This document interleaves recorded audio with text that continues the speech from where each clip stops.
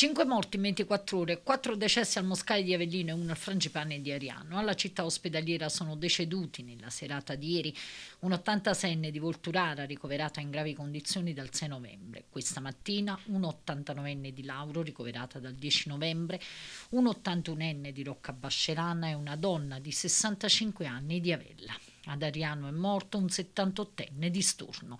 Dal 1 ottobre ad oggi all'ospedale Moscati di Avellino sono morte 56 persone. Nell'azienda ospedaliera Moscati risultano al momento ricoverati 113 pazienti Covid positivi, 7 dei quali in terapia intensiva. Dal 1 settembre sono stati dimessi a domicilio o trasferiti in altri istituti 180 pazienti. Intanto ieri l'ASL ha comunicato altri 114 positivi in Irpinia e in attesa del nuovo bollettino ci sono già alcuni sindaci che hanno ricevuto comunicazioni nel merito da parte dell'azienda sanitaria. È il caso del sindaco Rino Buonopane, il quale rende noto di aver ricevuto notizia di altri 12 positivi nel suo comune. A Montella la conta dei contagiati arriva a 72. Dieci di questi sono contatti diretti di casi positivi accertati nei giorni scorsi. Un altro caso riguarda una persona che è stata sottoposta a tampone sul luogo di lavoro.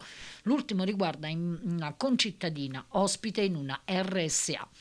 Il virus non molla l'Irpinia, che nella seconda ondata è stata praticamente invasa dal Covid. Sono infatti 115 su 118 i comuni dove si registrano positivi.